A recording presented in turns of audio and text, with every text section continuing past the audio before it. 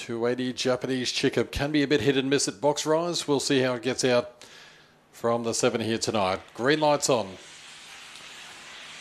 All set, ready.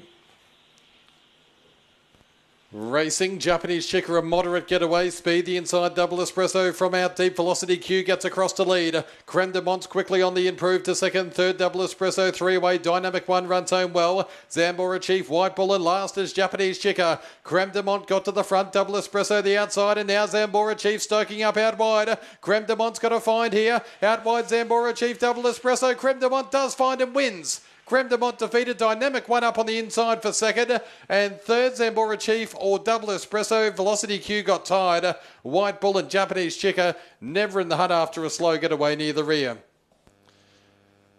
Creme just kept kicking when challenged again here for Phil Sear. Brings up the hat trick. 24-19 the gallop. Four dynamic one through on the inside gets second and two will just hold third double espresso from one Zambora Chief. Three, four, two and one after the running